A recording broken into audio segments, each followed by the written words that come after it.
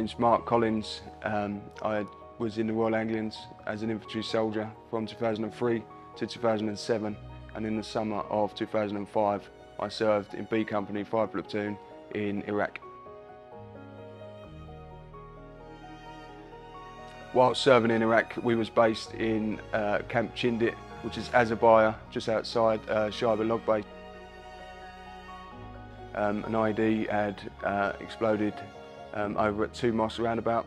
Um, we wasn't fully aware of the details, just knew that uh, British Army had been hit.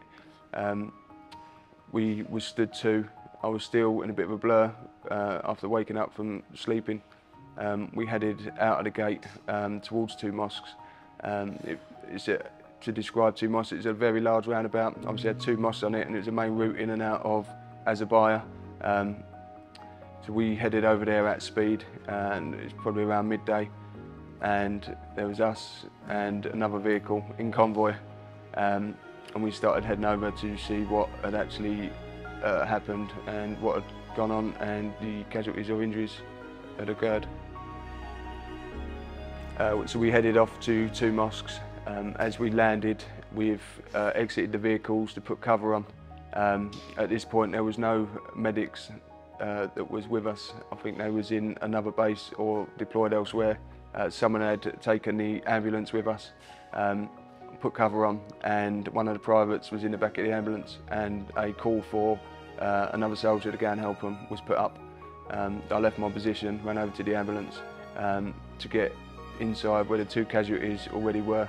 Uh, started taking my kit off and started treating one. It was uh, one casualty uh, to me and one to the other private that was involved. Um, and that was where uh, the main treatment um, occurred from Shaiba, uh, from the two mosque roundabout all the way up until we landed at the hospital in Shaiba. So while, was in the ambulance, it seemed a very long time from start to finish. Um, we'd done everything we could in the back of the ambulance between myself and the other private to um, keep uh, both men alive, keep uh, keep pulses and you know uh, triaging and uh, uh, sorting out any of the treatment they needed.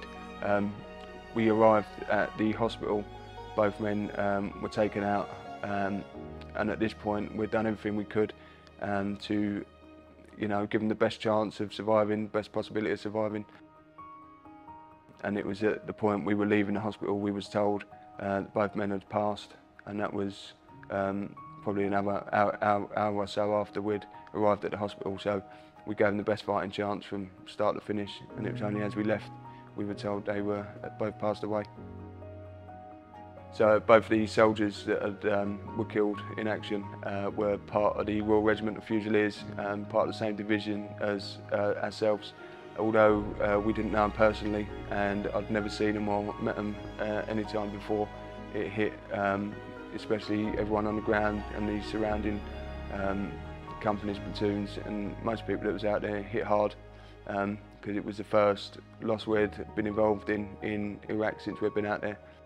I think I, felt more numb and didn't know how to feel or how to act. Um, and then that continued for the months and uh, probably years after until I worked out how to deal with um, the events that actually occurred. So in 2007, um, while the rest of the regiment was in Afghanistan, I was discharged with uh, PTSD. Um, at the time, I remember feeling ashamed. It was not something that was spoken about and, you know, um, the help wasn't there as a whole um, throughout everywhere. Um, men at the time didn't talk about it. I felt ashamed to be associated, um, you know, with my pals that were in Afghanistan, so I distanced myself from everyone. Um, medals, got rid of everything because it was easier to say I wasn't in the army than say I was. Uh,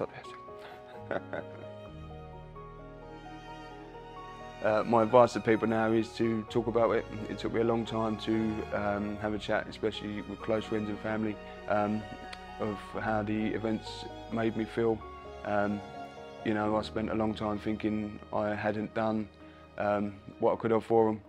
But you know, you look back now, it's easier to talk about it. It's easy, easier to um, advise advise people on um, you know the best way to deal with it and the signs and symptoms of PTSD. Um, everyone's different. Um, it just takes someone to sit down and listen. And I think with I think everywhere as a whole has come on leaps and bounds, but especially the army. Um, I think it's more recognised now, and more and more people are happier to say they suffer with mental health or PTSD. Remembrance Day for me, um, I think it helps because it brings everyone together and they can um, be in a position to remember the fallen, but not only the fallen, the people that have been injured or affected by um, their military career, not only their, themselves, but anyone that's, um, any family. It's a day to remember everyone from those that are directly affected or the wider community that will allow people to um, heal, remember um, and just never forget.